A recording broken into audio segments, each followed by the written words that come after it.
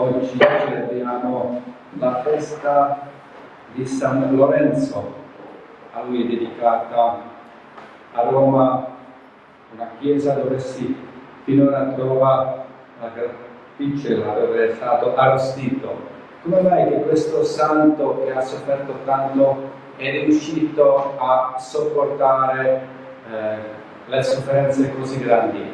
Perché si dice che dentro di sé nel suo cuore ardeva grande fede, ardeva grande amore.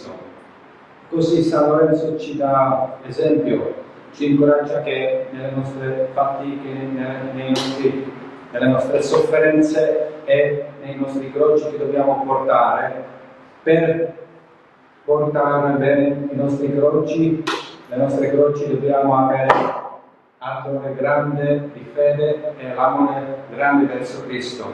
Forse ci aspetta anche persecuzione.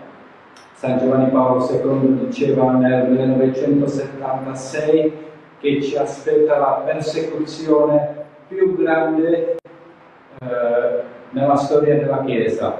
Allora, come noi, piccolo resto, rispondiamo alla persecuzione che probabilmente o sicuramente ci aspetta.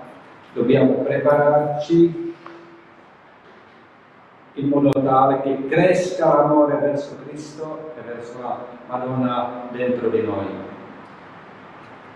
Laudetur Jesus Christus.